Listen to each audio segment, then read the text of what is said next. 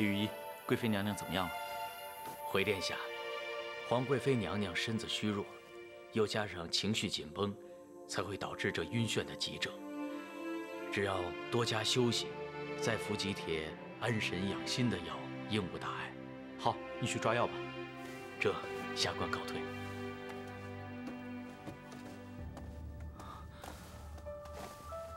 娘娘，李御医说您没事，您好好休息。你呢？你帮本宫挨了一棍，痛不痛啊？不痛，应仍身体强壮。珠儿参见皇贵妃娘娘、太子殿下。你来做什么？回殿下的话，太子妃娘娘请太子殿下回一趟玉庆宫。她又什么事儿啊？你告诉她我很忙，没空理她。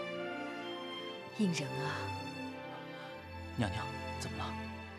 太子妃找你，你应该去见她才是。好吧，应荣这就回宫，你好好养病，我回头再来看你。你快去吧，我躺一会儿就好了。嗯，而且。还有灵儿在这照顾我，我没事的。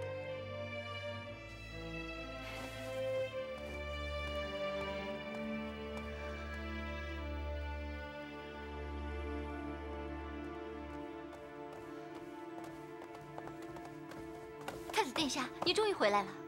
什么事儿啊？皇贵妃娘娘正病着呢，有什么事儿赶紧说。臣妾听说，韩香与格泰为了查案，竟然查到了皇贵妃的头上。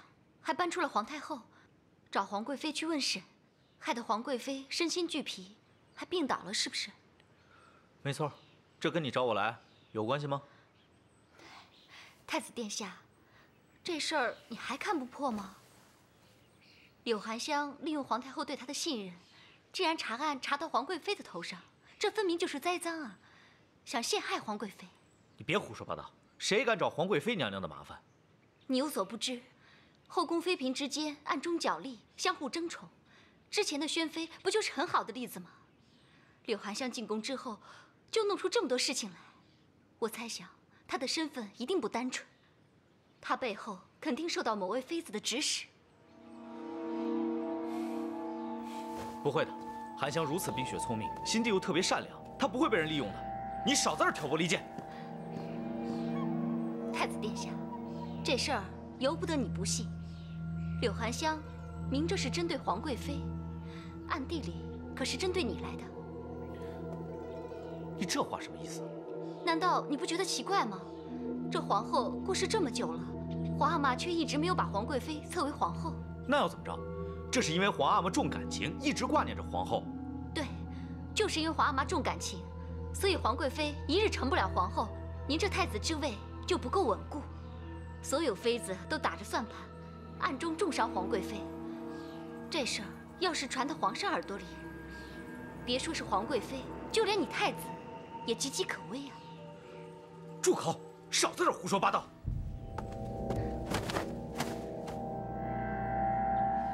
你想想，当今皇子个个都对你虎视眈眈，若是少了皇贵妃护着你，那其他妃嫔、皇子不就更有翻身的机会了吗？更何况这后宫之中……除了皇贵妃和我，还有谁在为您着想？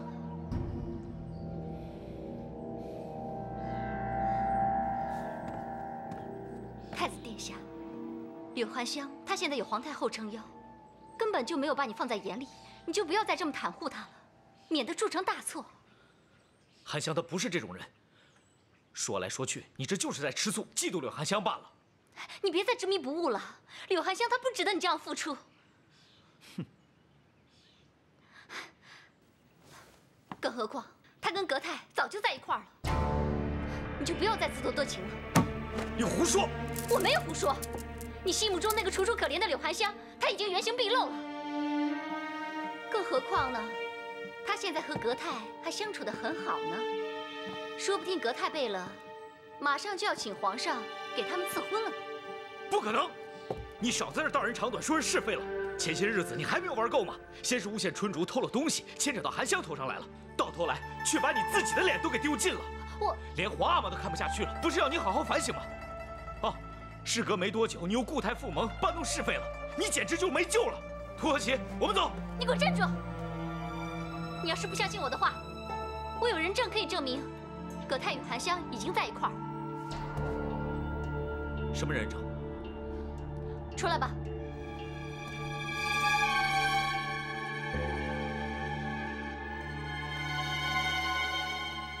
奴婢春竹参见太子殿下。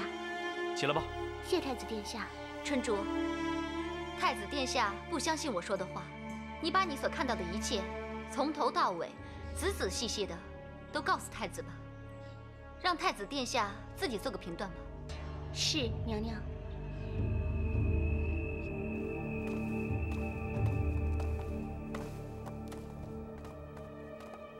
秀儿，你先回去吧，我送韩香出宫就行了。是，奴婢先告退。韩香，我们走吧。嗯。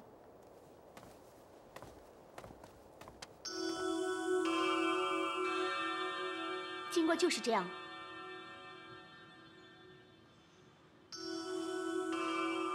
春竹所言，足以证明格泰和柳含香两人早已情投意合。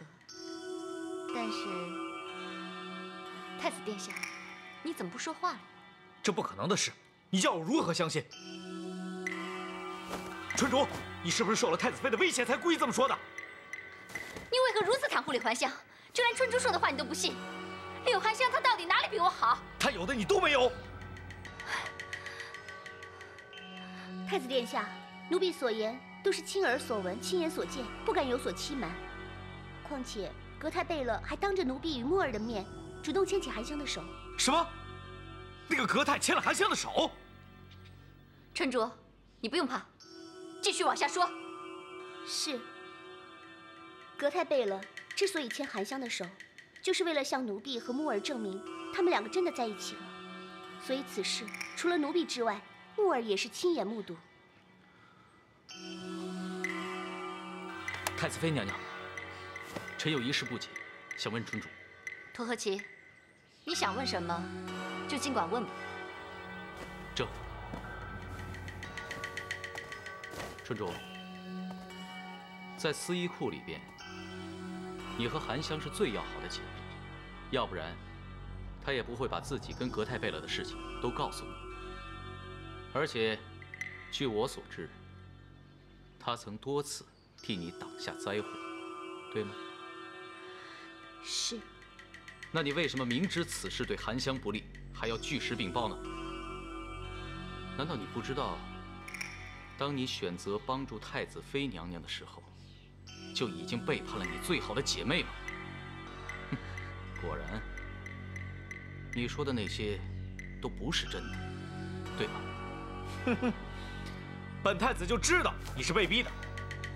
春竹，你就放心大胆的说实话，天塌下来，本太子替你挡着。是姐妹，又怎么样？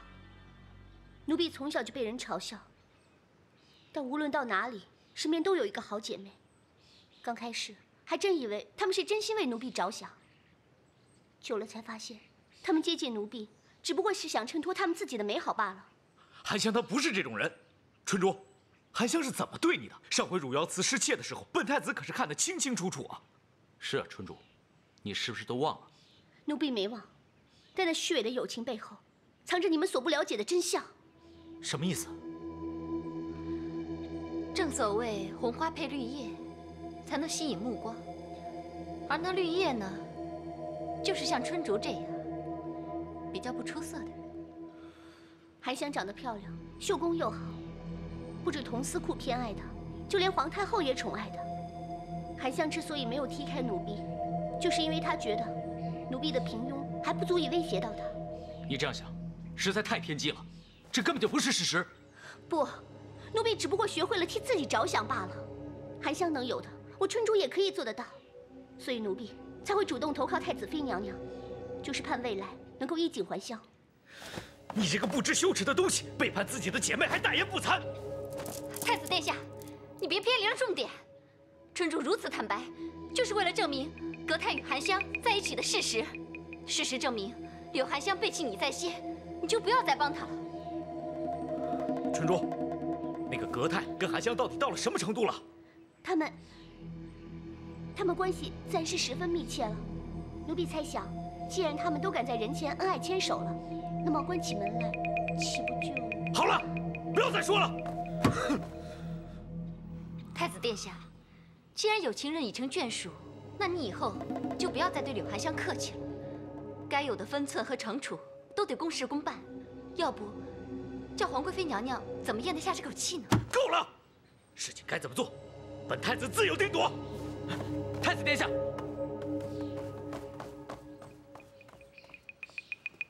奴婢该说的都说了，为何太子殿下就是不愿意相信呢？不用担心，他待会儿就会回来。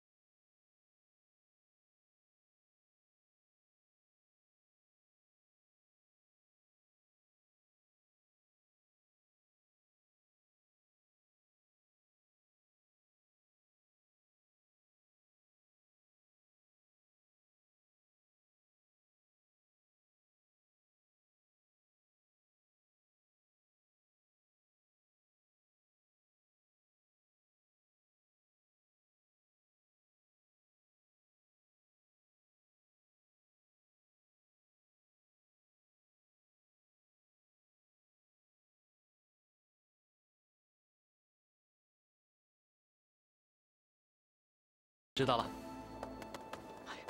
太子殿下，您慢点本太子要去找韩香，把所有的真相都告诉他，让他知道春竹有多卑鄙。他听后定会因为感激投入本太子的怀抱。太子殿下，若是如此，您绝不能去啊！放肆！你给我滚开，挡着本太子的路了！奴才不能让！大胆！你也想反了吗？难不成你也被太子妃收买了？奴才对太子殿下忠心不二，绝不会投靠其他主子。那你挡我路干嘛？其因有二，首先，韩仙和春竹情同姐妹，未必会相信我们所说的。春竹背叛了他。其次，是怕太子妃娘娘有所图谋，那我们岂不就误入陷阱了？这只是你自己的猜测。就算韩仙愿意相信咱们，他和格泰贝勒在一起这事儿已经是事实。单凭此事，太子殿下。未必能够取代格泰贝勒在韩香心目中的位置。若是因为此事，反而增加他们两人之间的感情，那可就不好了。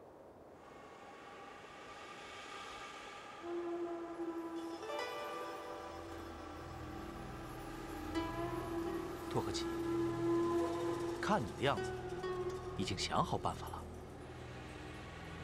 事已至此，咱们不如就顺水推舟，干脆假意与太子妃娘娘合作。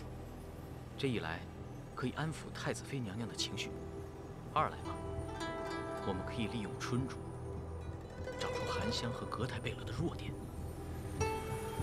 那你的意思就是，让我们借用太子妃之手，拆散他们两个？对。若是计划顺利，太子殿下就算想要直接除掉格泰贝勒，也不无可能。反正，无论如何。我们都有春竹做替死鬼，到时候韩香同时失去爱人和挚友，内心定会彷徨，无所依傍。那时，若本太子出现的话，那不就成了韩香最好的依靠了吗？到那时。我就不信韩香会再拒绝本太子。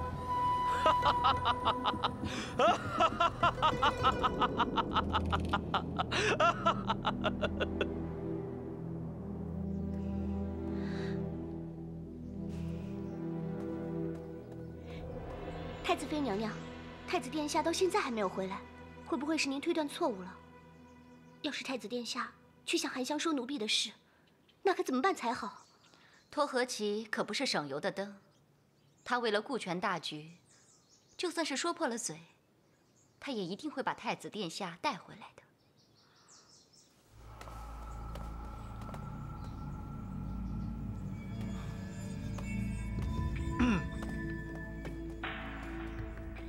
本太子刚刚到外头绕了一圈，情绪平复之后呢，就有了不同的想法。太子殿下，只要您肯回头，您就会发现天底下只有臣妾我，会永远在这里等着你的。嗯，本太子就是被太子妃的一往情深所打动了，心里头对韩香和葛太那对狗男女就更加觉得愤恨难平了。春竹，你可有什么好的办法替本太子报仇啊？奴婢想过了，这几次韩香之所以能够逃过劫难，都是因为有佟思库当他的军师在背后指点着，因此奴婢认为应该先从佟思库下手。嗯，很好。春竹，你尽管放手去做，今后本太子在背后一定会全力协助你的。嗯，多谢太子殿下。免礼了。你可要替本太子好好盯着他们两个。嗯，是。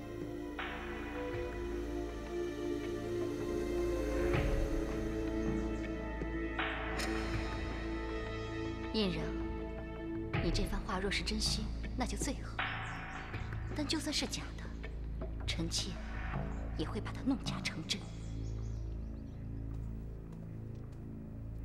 皇太后，吃点茯苓饼定定神吧。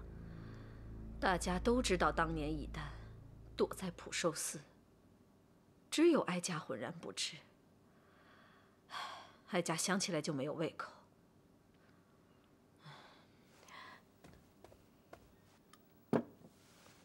秀儿也真是的，叫他去问个皇上回来没有，到现在都还没有消息。皇太后，您先别着急，喝口茶吧。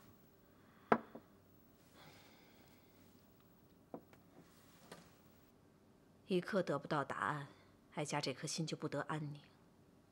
奴婢猜想，皇上之所以会隐瞒了这个消息，恐怕，恐怕是有什么难言之隐。皇太后，您还是再耐心等等吧。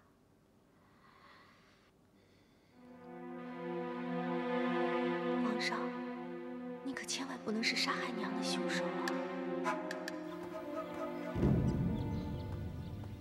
娘娘，您慢点您的身体撑得住吗？不碍事，待在宫里，本宫心里闷得慌，在这园子里，心情反倒舒畅。皇贵妃娘娘，她已经可以走动了。看来身子已经恢复了。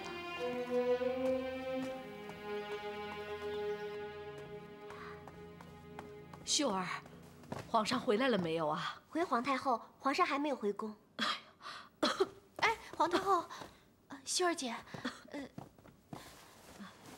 要不要奴婢去请御医啊？不用，哀家只是心里着急，身体没什么大碍。不必惊动御医了。是。皇上迟迟不回来，也不知道皇贵妃身体好些了没。就是想随便问个话，也不知道该问谁。皇太后，方才奴婢经过御花园，看到皇贵妃娘娘跟灵儿在散步，想必皇贵妃身体应该好些了吧。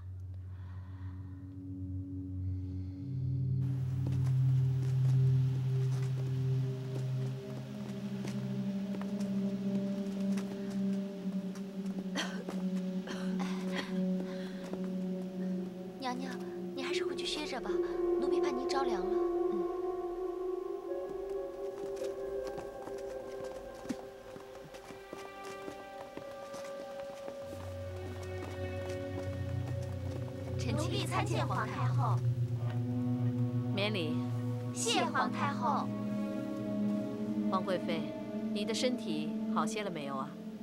谢皇太后关心。刚服过御医开的药，感觉好多了。那就好。我们去凉亭聊一聊吧。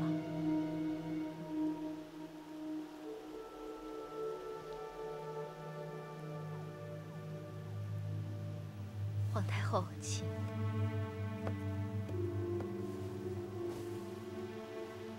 不知道皇太后找臣妾想聊什么事啊？皇贵妃，哀家就开门见山了。以丹失踪这件事，你到底还知道些什么？希望你能老老实实的告诉哀家。这，臣妾……怎么？是不是非得等到皇上出现，你才愿意跟哀家说呀？你到底有没有把哀家放在眼里？请皇太后息怒，起来回话。是。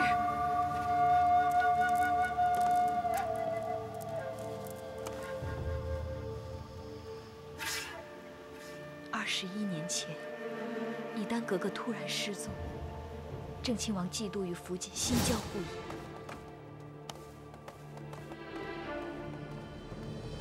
郑亲王，请。启奏皇太后，以丹失踪至今，他额娘与臣茶不思饭不想，王府上下也是不得安宁。请皇太后发慈悲下懿旨，帮助寻找以丹。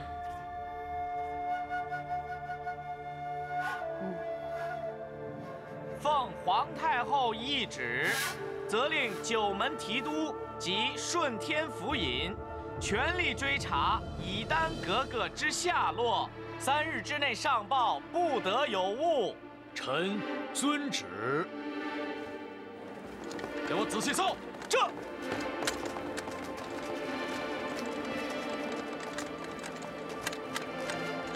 你们几个去那边搜。住。要搜仔细了。其他人跟我走。这。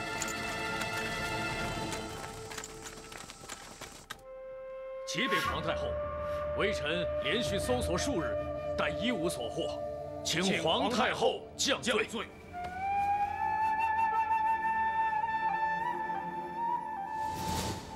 他们三天两头往皇宫跑，请求皇太后的协助。那个时候，皇太后不是还亲下懿旨，通令卫戍荆棘的九门提督与顺天府负责把人找到。但耗费了三个月，终究无功而返。后来，搜寻的规模也慢慢缩小，众人也逐渐淡忘了这件事。这件事，哀家当然知道。哀家想问的是，当初你是如何从静妃那里知道以丹的下落？皇上又为何不让你说这件事？那时候，正当众人寻不着以丹格格下落时，就在某一天。臣妾在弘毅阁遇到了静妃。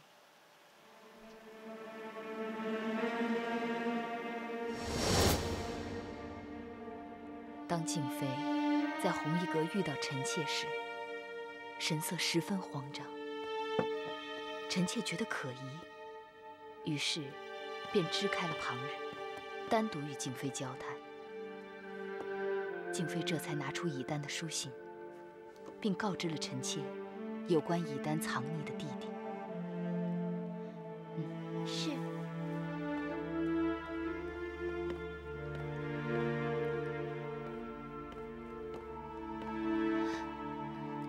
参见皇贵妃娘娘。你怎么会在这儿啊？啊，以丹格格捎给我一封信，您看看。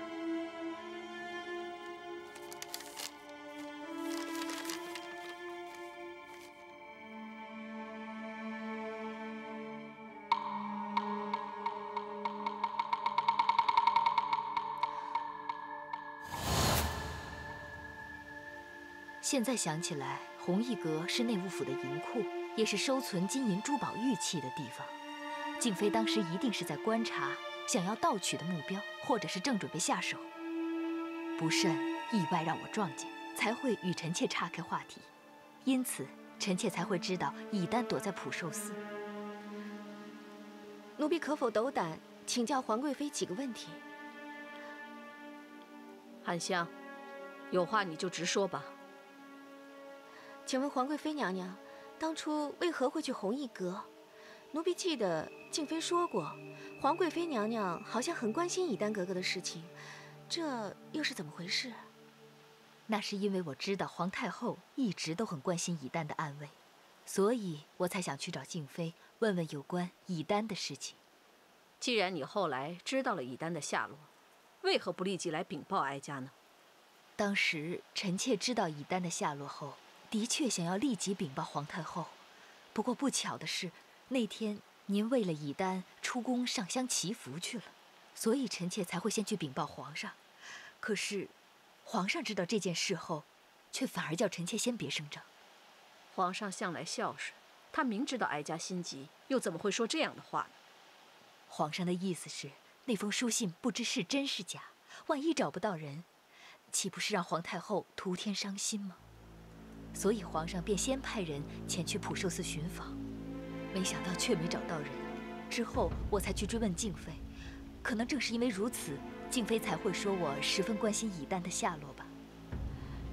以丹格格给静妃的信上说他在普寿寺，后来以丹格格也是在普寿寺遇害的，这就说明以丹格格确实是藏在了普寿寺中。那么，如果皇上收到了正确的讯息，当时又为何没有找到人呢？这件事是我亲口向皇上禀报的，错不了。但我也不清楚，为何皇上派了这么多人马去，却还是找不到以丹的人影。都是命运弄人呐！我可怜的以丹，要是哀家知道你在普寿寺，哀家一定会亲自找你。皇太后，您别难过了。臣妾见您这样，臣妾更是自责不已。皇太后，您不要太伤心了。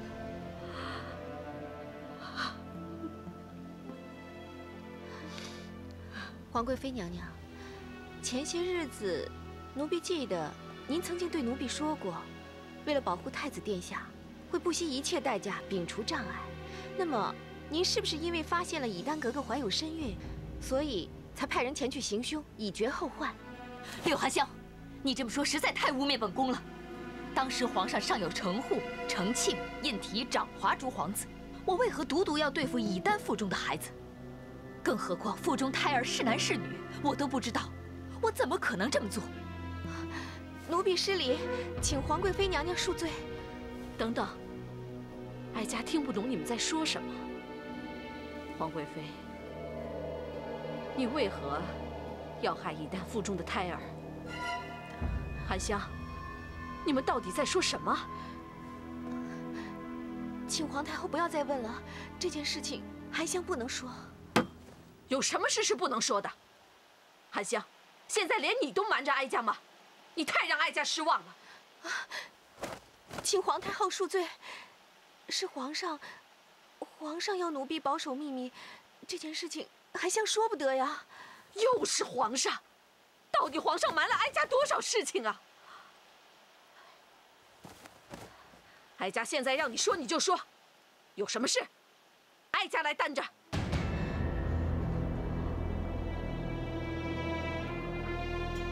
是，事情是这样的。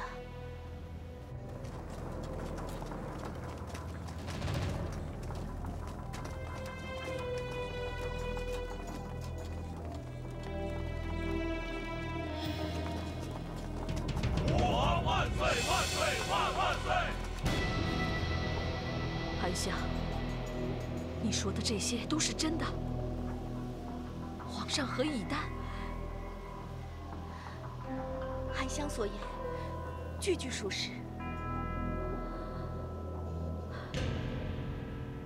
难怪以丹会怀了身孕。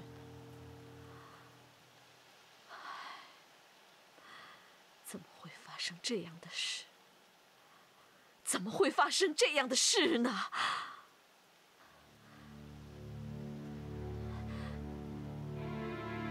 这件事你也知情。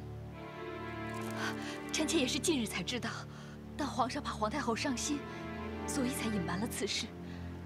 臣妾绝无恶意欺瞒之心，请皇太后降罪。为什么你们个个都要瞒着哀家？到底为什么？韩香错了，请皇太后降罪。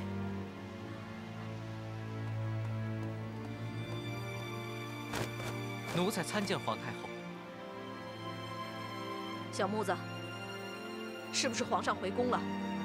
启禀皇太后，皇上已经回宫，方才也去过了宁寿宫给皇太后请安，但皇太后恰巧不在。皇上现在在哪里？皇上现在正在养心殿书房。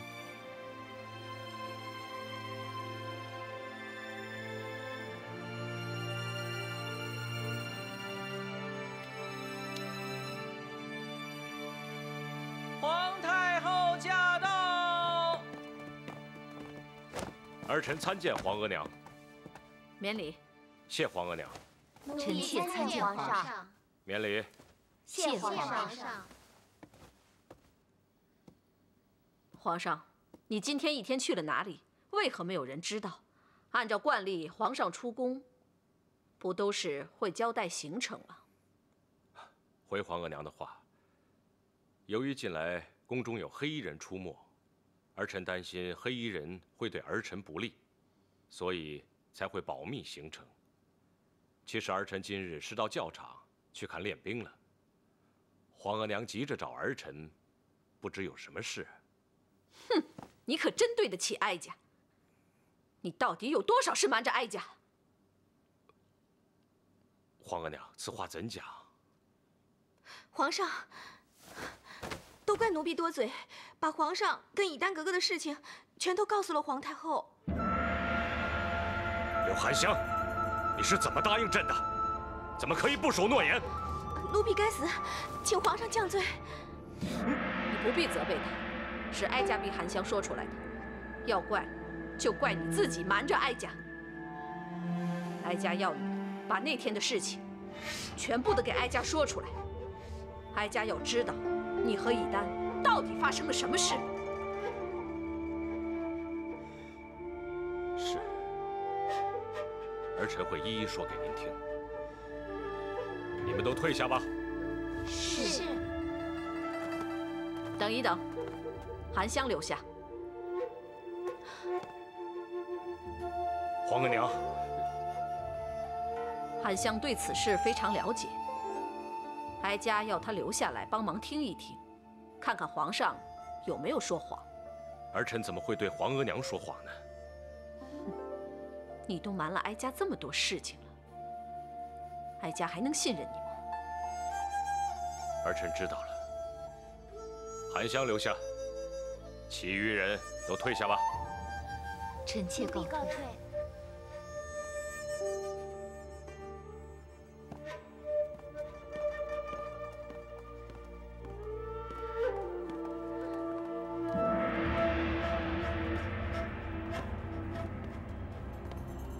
王公公，本宫有件事想请你帮忙。皇贵妃娘娘有事，直接交代奴才就行了。如果皇太后问完了皇上，请王公公通知本宫一声吧。奴才谨记皇贵妃娘娘的吩咐。娘娘，您别太担心了，还是先回去歇着吧。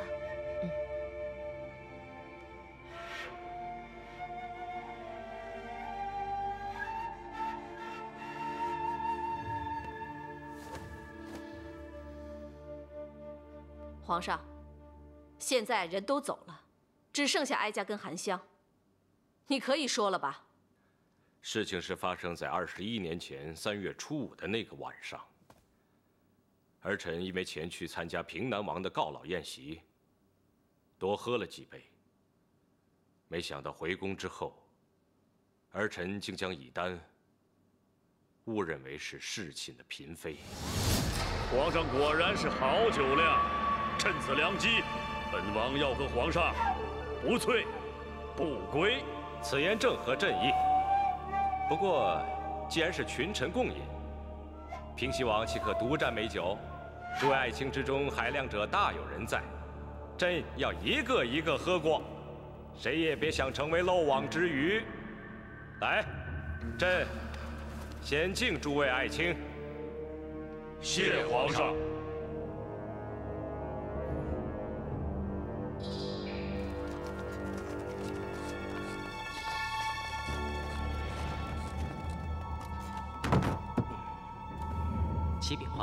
养心殿到了。啊。哎，朕自己进去就行了，你们都先退下吧。这。啊，还有，今晚无论什么事都别来烦朕，朕想一个人静一静。嗯，奴才明白。都回去吧。有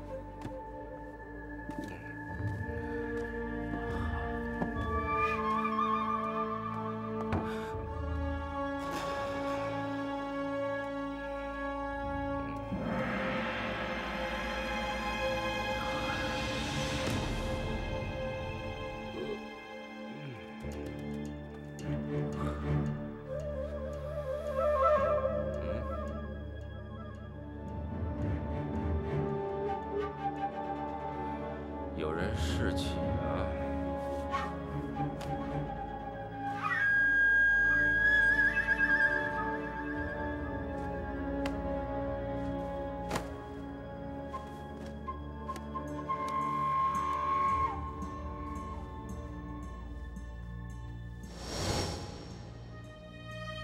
那然后呢？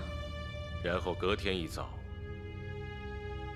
儿臣却发现自己的手掌上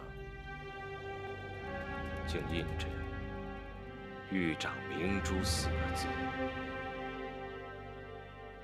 所以儿臣便召来净事房的总管太监安和顺，询问之下方知，前晚陪儿臣共枕的是当时的李贵人子和。于是儿臣便在同月底再次召他侍寝，但不知为何，儿臣总感觉这两晚陪侍的女子不像是同一个人。当时儿臣也以为是因为喝醉酒的原因，所以才会有这种感觉。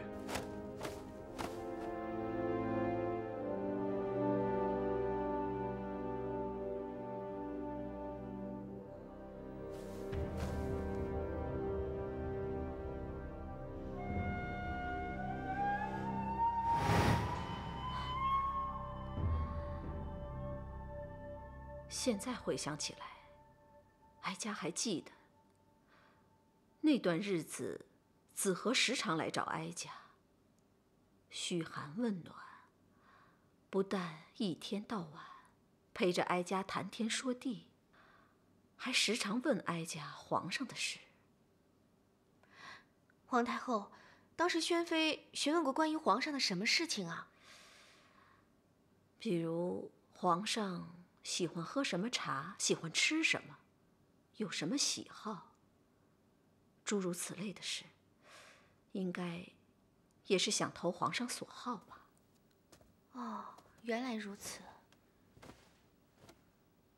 由于那时子和深得皇额娘的疼爱，所以儿臣便听从皇额娘的意见，将她封为宣妃。这件事，哀家记得。然后呢？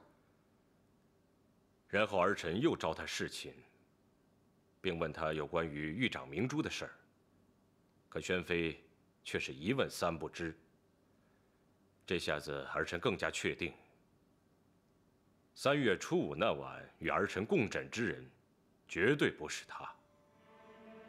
于是儿臣表面上不动声色，暗地里却命小木子去净室房调阅起居部。发现三月初五那晚是小李子等四人当值，于是儿臣便想将此四人叫来问话，结果竟是这四名小太监的总管安和顺前来回报。安和顺说，这四名小太监有三人意外坠崖身亡，一人失踪下落不明。儿臣只好改问安和顺，为何差这四名小太监将子和送入养心殿？安和顺推说是他看错了玉蝶。然而儿臣再三回想，非常肯定自己从未挑选过紫河的玉蝶。既然如此，又何来错看之事？不过这个问题至今怕是随着安和顺死去，死无对证。因为当时已经封紫河为宣妃，在真相尚未弄清之前，儿臣决定不泄露此消息，就是怕惹出更多不必要的麻烦。可没多久，儿臣便从皇贵妃的口中得知以丹的下落，于是儿臣就立刻派人去找他。皇上，皇贵妃告诉您。以丹格格，她就在普寿寺里，对吧？嗯。那么，以丹格格最后也是在普寿寺里发生的意外。如此说来，皇上您的确是找到了以丹格格本人。皇上，韩香的推论是错还是对？你怎么不回答呀？没错，当时儿臣的确是找到了乙丹。哎，刚才皇贵妃明明说，皇上当年没有找到乙丹，为什么现在又说找到了？